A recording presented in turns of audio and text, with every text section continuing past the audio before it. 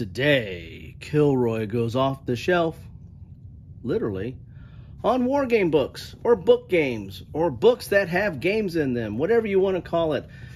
Worthington, at the end of last year, beginning of this year, they started coming out with these book games, this whole new series of putting a war game in a book so that you can play it.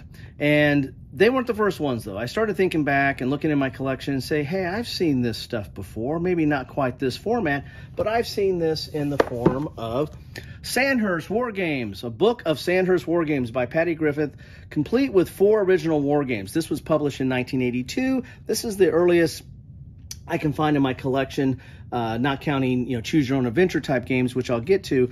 That really is a book that has war games in it. You get all the components in like this little satchel here, but the actual rules and history and context of the games are all in here. You, it, there's there's a little bit of history and setup and context, but you, here are all the rules and, and, talks about the counters and all those different counters and the maps and everything are in this packet here, and you have to cut out the uh, counters, and so it, it's kind of a print and play almost type situation, but it is uh, a, a four complete war games in a book and that's 1982. So going in in chronological order, the next thing I kind of find that fits a, a, a, war game in a book is probably choose your own adventure type games. Now, choose your own adventures go back quite a long time, but they mostly are fantasy or sci-fi.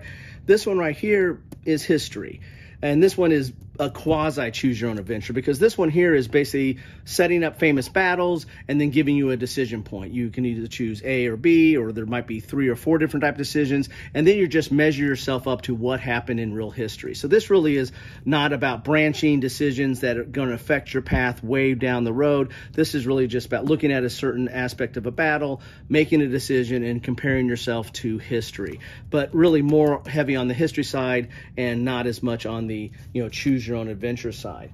You know, if you want to choose your own adventure and and and in a battle, then the Battleground General series is does more of that. Again, these are more historical context. This one's El Alamein, this one's Arnhem and you do get to make decisions that will have effects down the road and there are some branching paths um, so you do learn history here although it does potentially limits playability because you know, once you've kind of solved the the like any choose your own adventure, once you've kind of solved it, you know, what's the point of going back? Although there is history in here, so you might want to go back just to brushing up on the history. If you want to go basic choose your own adventure, then there's a whole series of you choose type books, and I just have a few of them the uh, that are really made for kids or for young adults. Uh, and these are your typical choose your own adventure. You're going to have a, a path uh, that you you know you're going to make decisions and you're going to go down that path, and you're eventually will get to an outcome. Now the interesting thing about these, there's three different paths in each book. There's numerous choices and there's 23 endings. So there's multiple endings in these books, and the three different paths are usually relatively unique. It might you might be able to play opposing sides or characters from opposing sides, or you know just key uh, characters from from the conflict. Like in Pearl Harbor, I think you get to play a nurse in that uh, situation. So you get to see it from a different perspective. And again, like with most choose your own adventure, there's somewhat of a role playing element to these games because you're putting yourself in the shoes of that person in that time period or in that conflict, and you're making decisions based upon that. And so that's one aspect I like about that. Now, these are again made mainly for kids, but you know, if you have bad eyes like me, you know, the reading's actually easier in some of these things. And you're going to learn some history here. You're not going to learn as much history as you would in Years the Reason Why or even in uh, Battleground General, but you're going to get an introduction to history. Now, if you want to get in, uh, more of an introduction into the strategy or tactics of a situation, then you might want to pull up uh, John Ont- uh, series, which is Armor Attacks, where you're a commander of a tank platoon uh, infantry combat where you're a commander of a rifle platoon or combat team where you're a captain of a mixed platoon. I mean, you're, you're going to have uh, armor and rifle uh, uh, underneath you, and you're making decisions as a commander. And so these are going to give you a tactical situation. You know, there's maps in here. There's some there's some uh, appendix, and there's a whole bunch of trying to train you up on what you need to know to be a commander in this situation or a platoon leader, and you're going to be make, making decisions based on that. So th- th- this is again choose your own adventure, very kind of RPG-ish if you want to be in the sh- you know role play a commander, and uh, they're basically it's modern combat. These were written in the 90s, so this is modern combat as of, of that time period. The neat thing about combat team is you're a company uh, commander, but you're also there's there's a little bit of fog of war element in here. So sometimes you have to roll dice. So it's not just a straight making a decision and, and have a branching path. You get to roll dice, and so there's a little bit of fog of war, and it also adds to the replayability of these because um, you know the dice might take you down a different path at some point. So that that's kind of taking them in order of how some of these games came about you know, which brings us to you know modern day uh, uh, Water uh, Worthington and all the different things they've done. They basically have uh, the latest one that just came out was uh, on to Moscow. But then they also have these solitaire versions, and these three, Gettysburg, Waterloo, and Braveheart, uh, all have a very similar type of fe- feel to them in that they are uh, what I call a static map situation. You're going to have a situation where this is what the map looked like at that time in the battle, and then the AI is going to make decision. You know, you're going to roll on the AI, and that's going to tell you what this, what they do to the map, and then you're going to make decisions that do things to the map mainly marking off units and taking units off the board. And you're going to have limited times you can activate certain units, and you have uh, d- limited activations, and you also have a time track, and you're trying to accomplish different things depending on the scenario. So these are all what I call kind of static map, and these are kind of rem- reminiscent of Worthington's uh, Freeman's Farm and Chancellorsville and the like.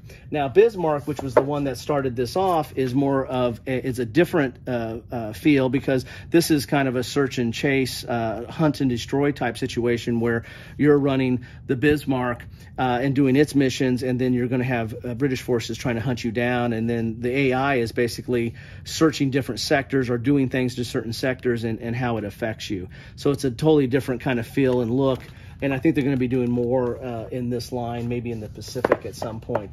Now, the latest one that just came out on to Moscow, this is even different from those uh, so far. This one is more of a kind of a feels like a states of siege type situation where you have these different uh, fronts that you're trying to move along and trying to get to Moscow, and these are the numbers you have to roll over, and you can commit resources to it, and so there, and the AI is going to be making decisions again and doing things to the map, and then you're allocating your resources and trying to move along these tracks so or these fronts. So it, it feels even even more different than than the other uh, ones in this series so far.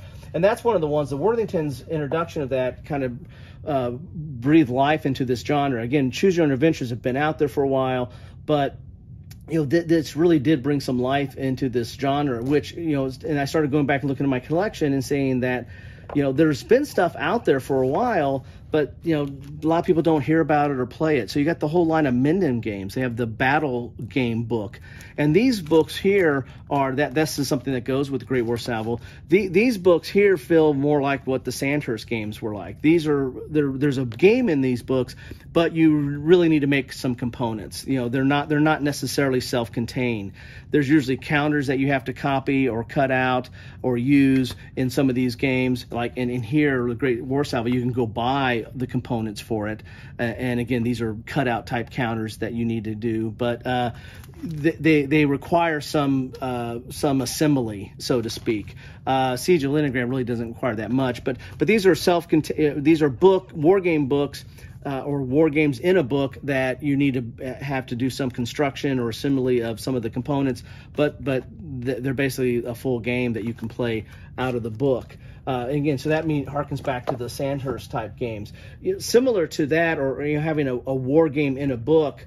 Uh, is the Lambo series, and there's a whole series of, of games by Mike Lambo uh, that are again all solitaire and they're all self-contained. Uh, you have to figure out do you want to mark on these books because there's there's there's usually a map on one side, there's the AI on one side, and the map on the other, and you got to figure out do you want to mark on this or what a lot of people do, and especially these later ones in this series, he gives you sample counters that you can use. So people use minis, people use sample counters, people grab components from some of the other games. You know, maybe Command and Colors or the like, and they use them in these games. Now, not all of these are hex and counter. Some of these are grids. Some of these are more of a track, but um, you know, this is a full uh, war game, solitaire war game in a book that has a built-in AI, and these are highly replayable. They're they're not dependent upon a choose your own adventure or a set path.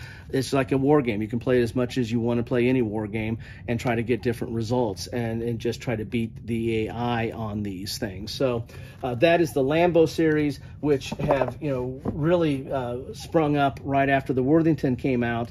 Um, in, in that same vein, you have the Kirkpatrick series, which this is mainly harkens back to B17 Queen of the Skies, which is what I call a charty war game, which is, you know, you, you have charts, you make decisions on those charts, you roll dice, that takes you to more charts, and you're, you're basically creating a narrative story. It's more narrative driven. It's not so much a lot of decisions or tactical decisions that you're making from an RPG type standpoint. It's more of, you know, seeing where the charts take you and uh, making a story out of that. And so this is basically taking B-17, Queen of the Skies, and then taking it from a fighter's perspective and putting it in a book, you know, to play. You got your board that keeps track of your crew, very reminiscent of B-17. You have your morale score, then you have a track of where you are on the uh, in the game, and then you have some charts um, you know, there's just several. A lot of these games, are just several of the same thing because you can write on it and, and destroy it. I, I usually make copies, but then you have your quick reference charts and, and tells you what to do and how you do it. So these are very simple, uh, simplified, simplified versions of B17 Queen of the Skies.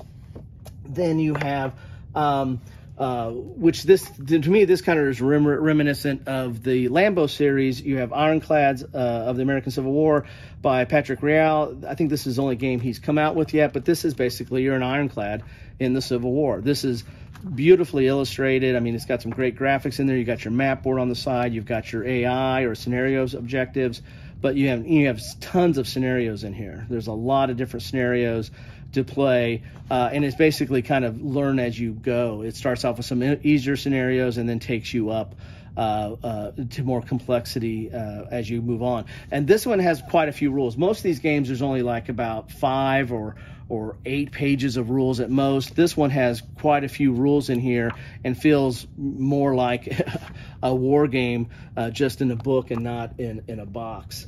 Um, then you have uh, Mitchell uh, and Adam Mitchell, who's just who really this harkens back to the Choose Your Own Adventure line, where these are Choose Your Own Adventure books. He started off with General Quarters, which you're commanding a submarine. iVirus, well that you're a virus. That's kind of for sci-fi. You can check out my sci-fi fantasy Saturday on my channel and uh, see what I kind of cover there. And then this one is MIA. This is the latest one, and this one is probably the most RPG-ish of the books that I've covered here, where you basically have a character. You're a lone soldier trying to get to an extraction zone, and you're going to have equipment, and you're going to have combat, and you're going to make tough choices. You might even have some moral dilemmas along the road here. But this is really a choose your own adventure. But the unique thing that he does, which is kind of similar to combat uh, team, is that there's a dice mechanism that drives the narrative forward. You're just not making decisions and branching out. The dice help make those decisions. So that adds to a lot of replayability uh, in in that game uh, or in that space as well.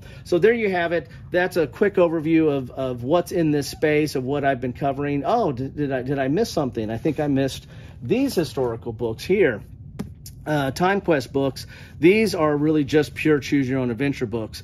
Uh, they are they're not really military, but they're more alt history. This one you're trying to assassinate Hitler. This one's right after Napoleon's uh, right after Waterloo, and this one is the gunpowder treason plot of 1605, where they were trying to blow up Parliament.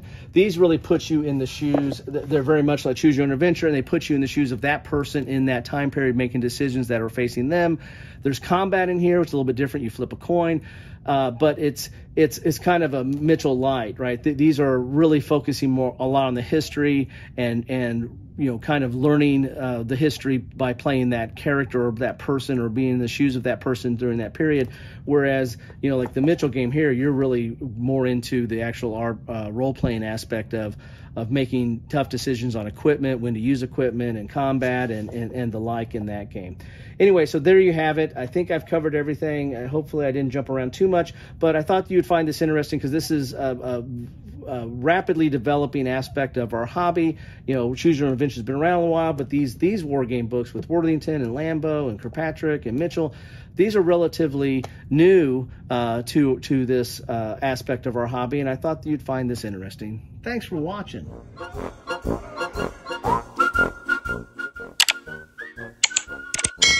Thanks for watching.